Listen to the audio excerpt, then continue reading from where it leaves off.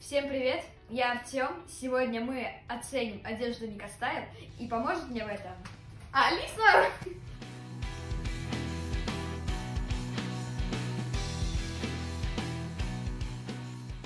Начнем! О! Давай распакуем! Да. Какая прикольная подкладка.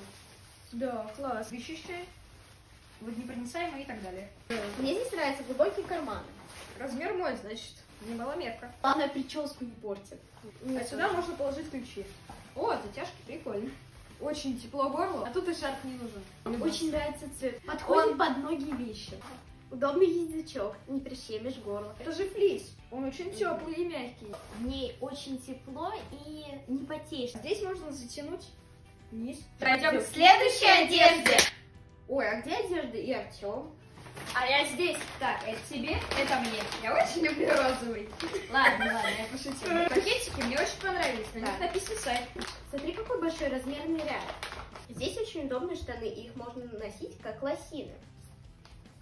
Кофта мне тоже очень нравится. Смотрите, значок Ника Стайл.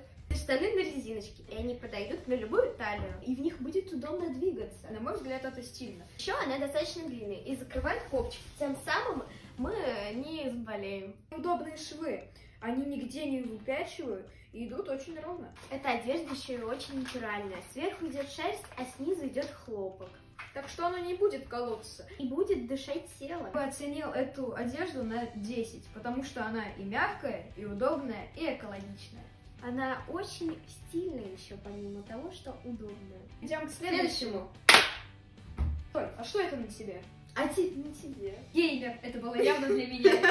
Тянется и подходит на любой размер головы. Смотри, какой аккуратный шов. Она очень мягкая и удобная. И главное, что не слетает с ушек. Так что, пошли одеваться? Thank